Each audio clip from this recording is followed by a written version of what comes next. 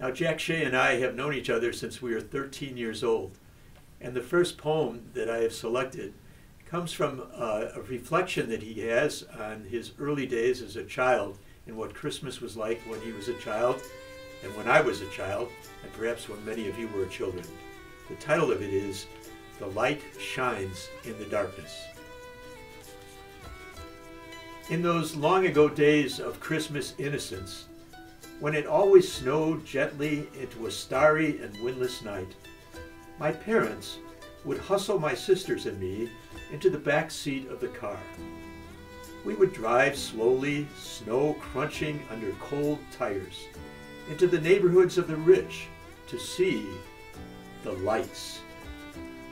Reindeer and wise men, sleighs and shepherds, elves and Mary, angels and carolers, Santa Claus and baby Jesus were lit up on lawns so night passengers in slow moving cars could gawk through frosted windows and say, Look at that one.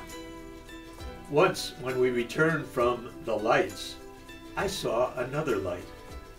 No razzle dazzle, no blinking on and off, no glitz, no, oh wow. In the window of our second floor flat, the lit tree glowed in the surrounding darkness. A simple contrast. It carried me away. I ran up the stairs to get closer to the revelation, only to find that its moment of glory had passed. Just a pine tree shedding needles on the rug but it had done its Christmas work. The darkness would never be the same.